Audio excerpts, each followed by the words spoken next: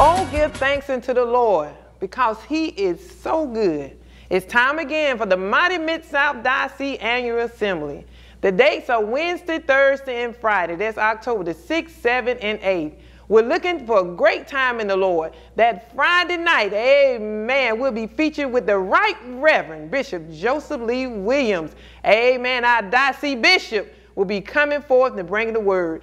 That Wednesday and Thursday, it will be Zoom only, but that Friday will be in person and in Zoom. We're looking to see you. Amen. God bless you.